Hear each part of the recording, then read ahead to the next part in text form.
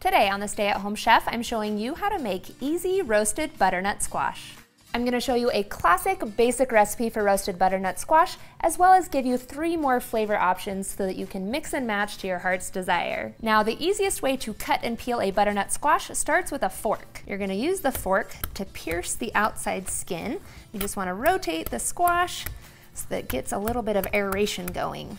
And then as strange as this sounds, we're gonna pop this in the microwave. We're gonna soften it up and make it easier to peel and cut by placing it in the microwave and cooking on high for three minutes. Next, we'll slice off each of the ends and then slice it down the middle lengthwise. And since we have microwaved this, it's a lot softer than it normally is. It makes a huge difference to microwave it first and makes it a ton easier to cut. Then just like a pumpkin, there's seeds inside, so you use a spoon to scoop those out. Then in order to dice it, I'm gonna slice the neck off from the bulb portion so that you have two pieces. Then we'll be able to dice the neck portion, slice it in half again, and then we'll be able to dice into one inch cubes. Then the bulb side is a little harder. What I like to do is rock it onto one end and slice a piece there and rotate it until I'm able to dice it into chunks.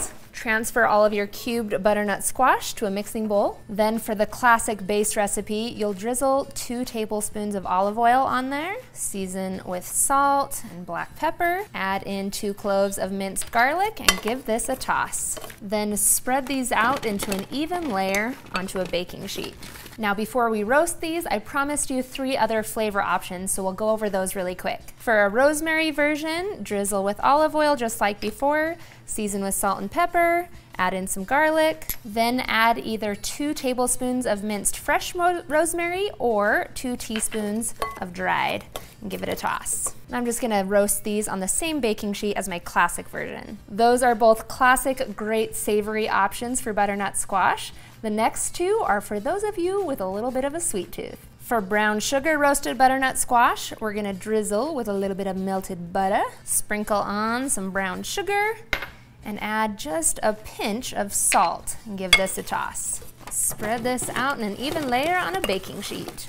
The last option is maple roasted butternut squash, so I'm gonna drizzle on about three tablespoons of pure maple syrup. Add in a little bit of olive oil, pinch of salt again, and toss. Maple and butternut squash are a great classic flavor combination. I'll put the maple version on this side of this baking sheet. We're gonna roast these in a 400 degree oven for about 40 minutes or until the squash is tender. And that's it, you're ready to eat. Let me know in the comments below which flavor combination you'll try first.